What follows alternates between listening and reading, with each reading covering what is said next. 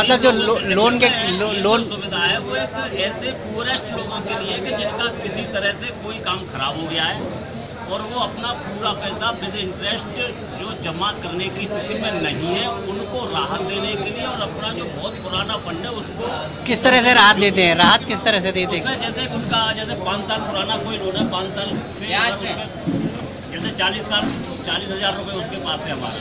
और पाँच साल से वो आया भी नहीं। पाँच साल की ब्याज भी अगर हम ब्याज कैलकुलेट करें तो पता लगे कि बीस हज़ार रुपये तो ब्याज पे हो जाएँगे तो साठ हज़ार हो जाएँगे। हमारा ये है कि तो उसको ब्याज में भी कंसेशन करते हैं हम, कि भाई तो ब्याज मत दे। और अगर कोई उसकी ज़्यादा जटिलता है तो उस हमारा जो मूलधन है, हम उसमें भी कमी कर देते हैं और हम उसको चालीस का ब्याज भी छोड़ दिया और तीस तक और और भी अगर कोई ज़्यादा जटिलता हो तो हम सिक्सटी परसेंट तक उसको जमा करते हैं। इसमें जो छोटे छोटे मुकदमे होते हैं पीटी ऑफेंसेज उनको डिसाइड कर दिया जाता है। आर्थिक रूप से दंडित कर वो मुकदमे डिसाइड कर दिए जाते हैं, जिससे कि बादकारियों को भविष्य में जमानत ना करानी पड़े और वो ट्रायल फेस जो नहीं करना चाहते हैं, वो मुकदमे ख़त्म कर दिए जाते हैं।